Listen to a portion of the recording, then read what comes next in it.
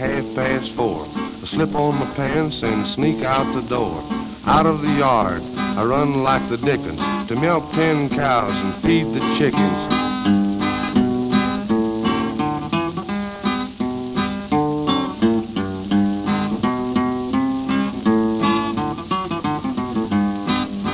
Clean out the barn, curry Nance and jigs, separate the cream and slop the pigs. Work two hours, then eat like a Turk. By gum, I'm ready for a full day's work.